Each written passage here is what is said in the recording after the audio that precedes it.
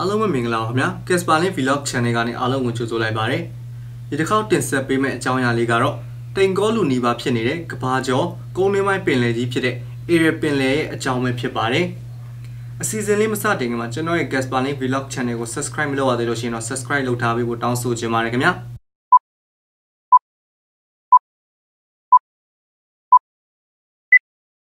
Area ပင်လယ်ပြင်ဟာတစ်ချိန်က ကမ္ဘာစတုတ္ထအကြီးဆုံးကုန်းနှင်းမိုင်းကြတဲ့ပင်လယ်ကြီးတစ်ခုဖြစ်ပါတယ်။အခုအချိန်မှာတော့တဘာဝပတ်ဝန်းကျင်ဆိုင်ရာမလျော်ကန်မှုများရဲ့စံနမူနာတစ်ရပ်ဖြစ်လာခဲ့ရပါတယ်။အာဖဂန်နစ္စတန်၊ကာဇက်စတန်၊ကာဂျစ်တန်၊ဥဇဘက်ကစ္စတန်၊တာဂျစ်ကစ္စတန်နဲ့ဂျာမနီနစ္စတန်နိုင်ငံ6နိုင်ငံမှာရှိတဲ့လူပေါင်းတန်း60ကျော်တို့က Area ပင်လယ်ထဲကိုစီးဝင်နေတဲ့မြင်းများအပေါ်မှာမိခိုနေရပါတယ်။ဆိုဗီယက်ပြည်ထောင်စုပြိုကွဲသွားတဲ့အချိန်ကစပြီးတော့ဆယ်စုနှစ်များစွာအတွင်း နေဆက်ဖြတ်ကျော်ကရေကိုအပြိုင်ဆိုင်ရယူတုံဆွဲမှုရာသီဥတုပြောင်းလဲမှုလင်းလင်းမြမြဖြစ်ပေါ်လာခြင်းတို့ကြောင့်ဆိုးရွားလာတဲ့အခြေအနေကိုပုံမိုပြီးတော့ဆိုးရွားစေခဲ့ပါတယ်။မြေဝမ်းအတွင်းကိုစီးဝင်တဲ့အာမူဒါရာနဲ့စီရာဒါရာမျက်နှာစင်းတို့ကလည်းဆိုဗီယက်စက်မှုလုပ်ငန်းစီမံကိန်းများကိုခြေကုပ်ရယူခဲ့တဲ့1960ပြည့်နှစ်လွန်များမတိုင်မီက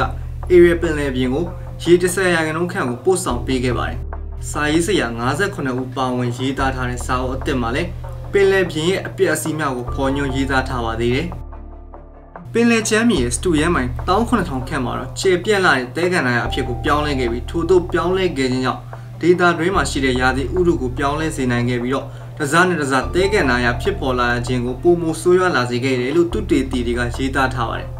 ။ကြံရှိတဲ့ရေပမာဏကလည်းပင်လယ်ရဲ့ငကူမူလအကျယ်ဝန်းစတူရဲမိုင်26000ရဲ့19ရာခိုင်နှုန်းမြကိုသာဖုံးလွှမ်းထားပါတယ်။ရေကို ရေရှည်စီမံကုတ်ကဲနိုင်မှုအတွက်အရှိလေပိုင်း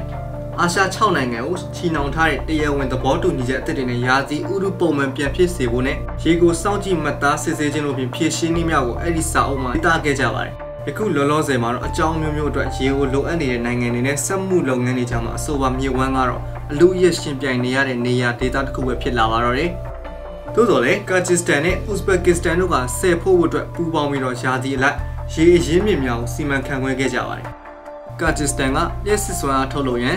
စောင်းတွင်းမှာတော့ရေတွေကိုအသုံးပြုခဲ့ပါတယ်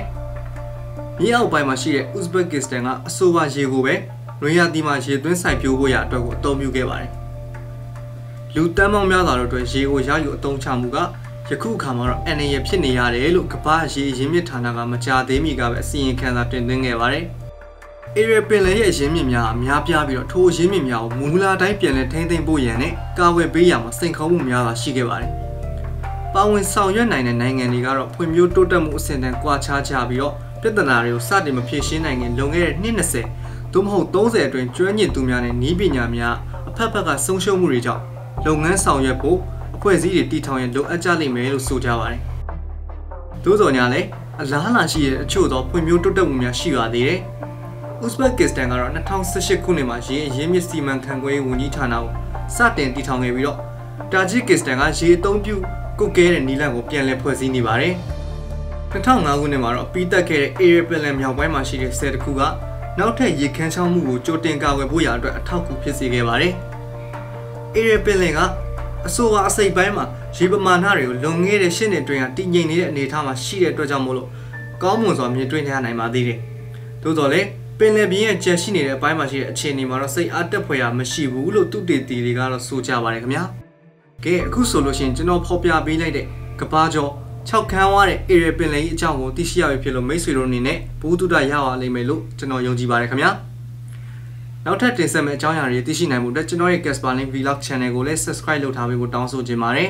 ။အားလုံးပဲကောင်းသောနေ့လေးဖြစ်ပါစေခင်ဗျာ။